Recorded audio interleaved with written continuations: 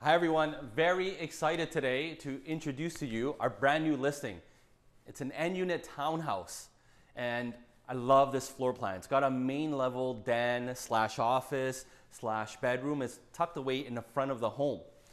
Because it's an end unit, it also has extra windows to the side and as well, it's located minutes walking distance, maybe a five minute walk to Barrhaven Marketplace where you have your transit, you have your shopping, your retail, if you want a coffee, movie, it's all there.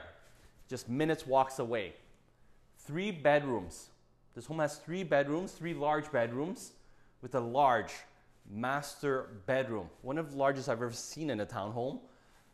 Also a walk-in closet, and of course you have your ensuite.